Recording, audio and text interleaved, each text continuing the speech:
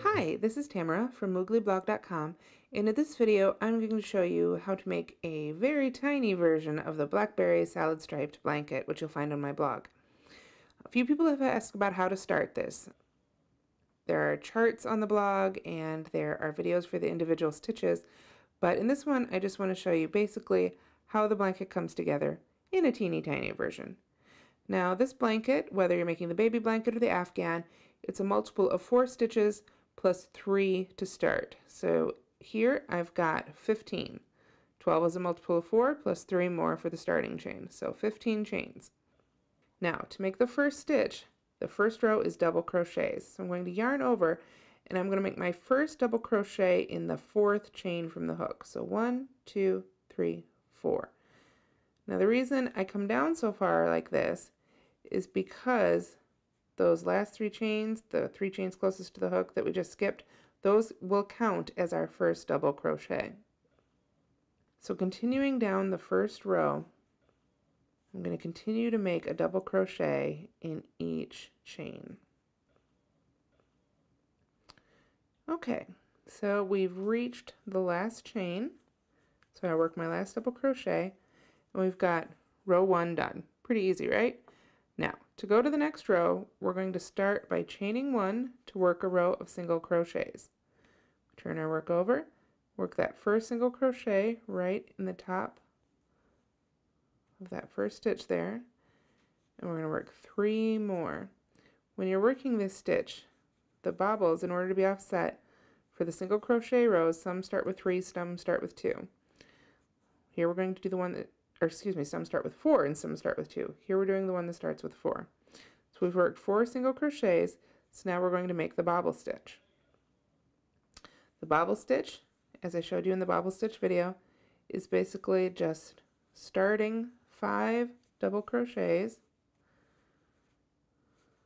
without pulling through the last two loops of any of them. So after you've started five here, you're going to have six loops on the hook, yarn over, pull through all six, and folding the bobble away from you, make a nice tight single crochet right in the next stitch. Now for the blackberry salad striped blankets, there's three single crochets in between each bobble. So we'll work our three there. Got one, two, three. We'll work one more bobble here in the next stitch. And if, like I said, if you want a better view of how to make a bobble stitch, you can watch the bobble stitch video from Moogly. It's got some great close-ups. Here we've got our six stitches, yarn over, pull through, make a nice tight single crochet right in the next one. Now because we've gotten so tiny, here we've gotten to the end of our row. If you were making a blanket, of course, this would be much wider, but you just continue working three single crochets in between each bobble. So since it's the end of the row and we started with four single crochets, we know we're going to end with four single crochets. So that's one, two, three. And because that chain three that we skipped at the beginning counts as a stitch, we work our last single crochet right into the top of that chain. It isn't always easy, as you can see. Everybody struggles with it. We've just got to push our hook in there, there we go, and make that last single crochet. Now, the next row is a row of double crochets again. So we're going to chain three to work our way up. Get a little more yarn free here. Okay, we've got our chain three. Turn the work over. And rather than working to that first one, we're going, because that chain three counts as a double crochet, we'll make our first actual double crochet in the second stitch of this row. And then I'm going to make sure I double crochet in the top of each one of our single crochets and also into the top of each bobble stitch. Just in that one last yarn over and pull through that's what we're double crocheting into the top of. So I'll work my double crochets here across the row. I know I'm going a little quickly but odds are if you're making this blanket you know how to make a double crochet So I come to the end, and because the previous row was single crochets, I'm not going to work into the turning chain of one there. We never work into a single crochet turning chain. We just work our last stitch right in the top of the first single crochet we made. So there we've got our second row and you can see our two bobbles here are popping out nicely in the front. So it's time to work another bobble row, which we work from the wrong side. Bobble rows are single crochet rows, so we chain one, turn the work over, and for this one, in order to offset them, we're just going to start with two single crochets. So there's our two. I need a little more yarn. And we're going to work our first bobble here after our first two single crochets. So work a bobble stitch right into the next stitch here.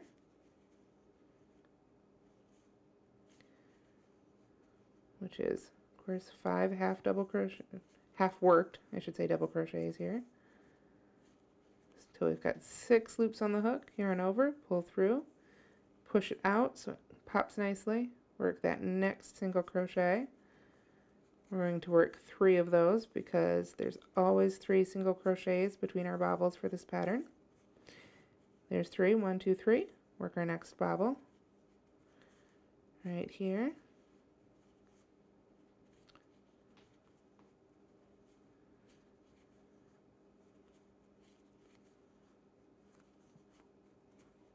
Push it out, work a nice tight single crochet next, and then two more to get those three there, and then one more bobble for this row.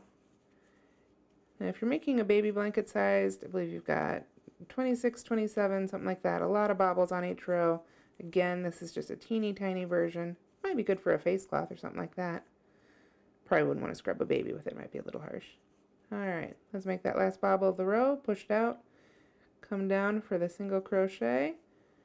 And since the previous row was double crochets and that chain three counts we're going to work our last single crochet right into the top of that turning chain.